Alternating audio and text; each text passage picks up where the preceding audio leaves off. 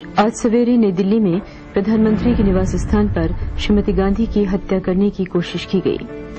मुझे नहीं समझ में आ रहा था कि उस वक्त मैं किस तरह वो न्यूज़ पढ़ूँगी किस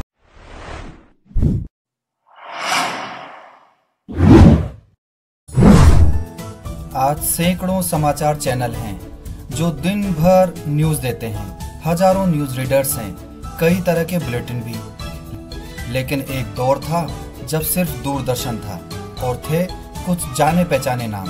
उनकी आवाज़ और उनका ढंग, ढब बहुतों के लिए मिसाल बना। इस वीडियो में मिलेगा आपको समाचार पढ़ने का अंदाज कि आज़ादी से पहले समाचार पढ़ने का अंदाज क्या था और धीरे धीरे धीरे समाचार पढ़ने का अंदाज किस तरह से बदलता गया और आज इस मुकाम तक हम पहुँच गए हैं कि अब भीड़ भाड़ है शोर शराबा है और न्यूज़ एंकर्स के बदलते चेहरे सौ साल पहले मुझे तुमसे प्यार था, आज भी है और कल भी रहेगा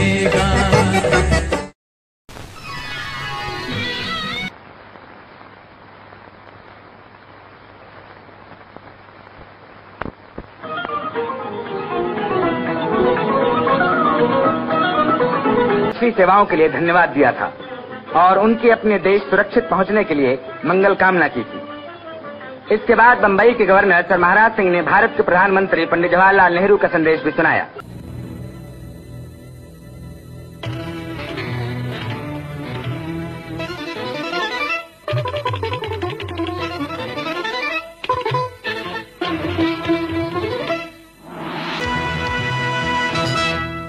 से शुरू होने वाले संसद के अधिवेशन में सत्तावन नए विधेयक रखे जाने की आशा है। बात इंदिरा गांधी की हत्या वाले दिन, यानी 31 अक्टूबर उन्नीस सौ चौरासी की है, जब दूरदर्शन पर न्यूज़ एंकर सलमा सुल्तान ने दुनिया को इंदिरा गांधी की हत्या की खबर सुनाई थी। सलमा सुल्तान बताती हैं कि कैसे उस दिन उन्हें इंदिरा गांधी की हत्या की खबर पढ़नी पड़ी, और उन हालातों में जब उनके आँसू नहीं रुक रहे थे वो काफ़ी बेबस हो गई थी। आज सवेरे नई दिल्ली में प्रधानमंत्री के निवास स्थान पर श्रीमती गांधी की हत्या करने की कोशिश की गई। मुझे नहीं समझ में आ रहा था कि उस वक्त मैं किस तरह वो न्यूज़ पढ़ूँगी किस तरह उसकी तैयारी करूँगी। आ, सिर्फ़ आ, एक आँसू थे जो बेतहाशा बह रहे थे जिसको मैं कंट्रोल नहीं कर सकती थी। मेकअप मैन कोशिश कर रहा था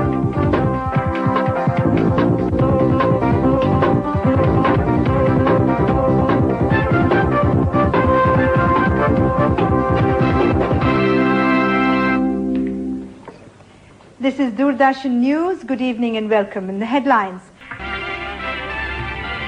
You're watching Doordarshan's Metro Network.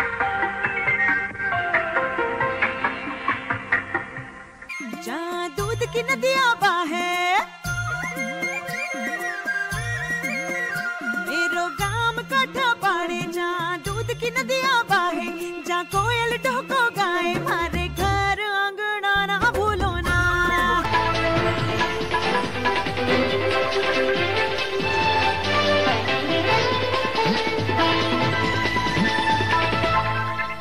हिंसक प्रदर्शन के बीच 24 फरवरी को एक प्रदर्शनकारी ने हवा में पिस्टल तानी थी, जिसका दिल्ली पुलिस के हेड कांस्टेबल दीपक दहिया ने डटकर सामना किया, जिनसे आज तक ने बात की।